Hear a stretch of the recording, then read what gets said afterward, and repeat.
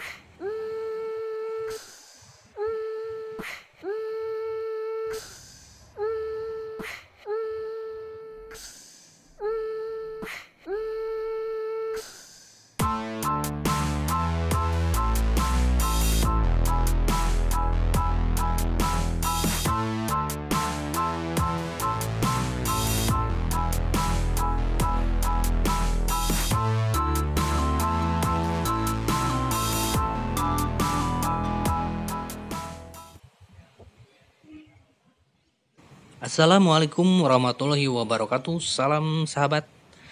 Pada kesempatan ini saya coba mereview secara singkat kendaraan uh, Grand New Xenia 1300 cc tipe X jenis automatic. Baik kita lihat pertama dari ukuran bannya tetap uh, dia memiliki ring 14 kemudian ini tampilan dari mudguardsnya bagian roda depan. Nah ini mudguard bagian roda belakang.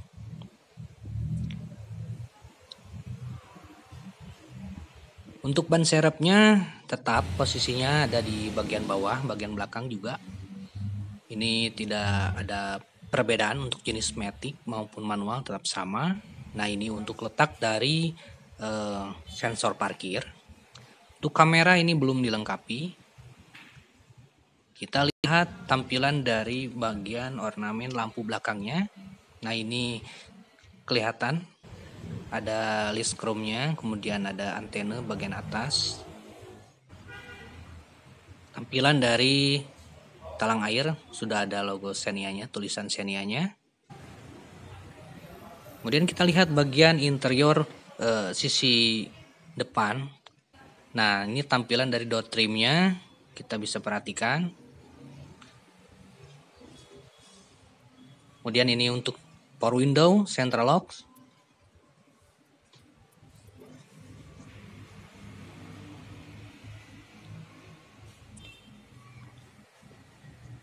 Kemudian untuk uh, tekanan angin ban secara standar kita bisa lihat uh, patokannya ada di uh, sisi samping depan sebelah kanan.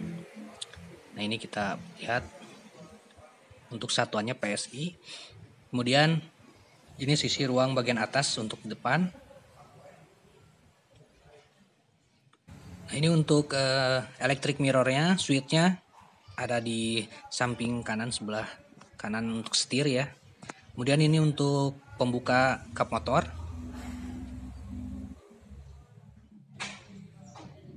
Nah, ini tampilan dari eh, bagian ruang depan, dashboard, tampilan dari audio, panel AC.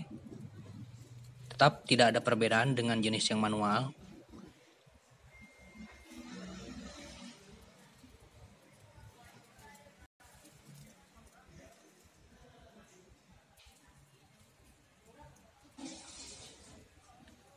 Nah ini untuk tuas uh, transmisinya.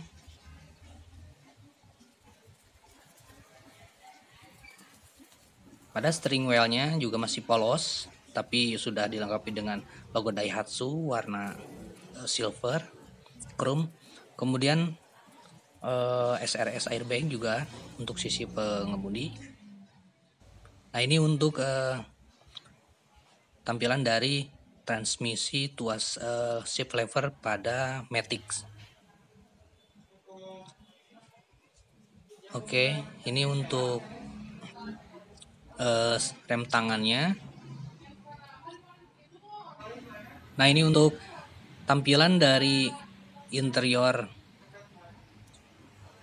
bagian belakang atau tengah. Nah, ini untuk kunci anak pelindung anak, kemudian untuk lock bagian belakang.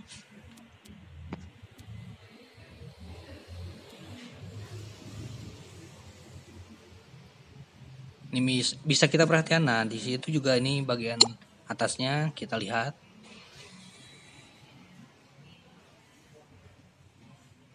Untuk nah ini untuk tampilan dari uh, console box.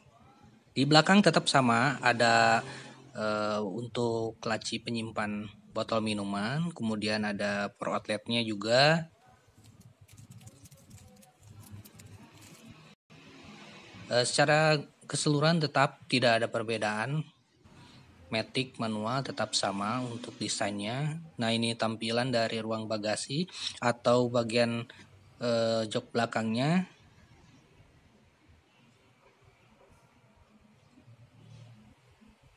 Nah ini untuk jok belakang sengaja dilipat. Kita lihat dimension dari ukuran ruangannya seperti ini. Nah, kemudian kita perhatikan uh, sisi ruang dari kap mesin. Oke. Ini tampilan untuk uh, pengisian minyak rem untuk aki. Kemudian ini untuk intake manifoldnya. Nah, terus di situ juga ada reservoir tank fungsi untuk pengisian air radiator.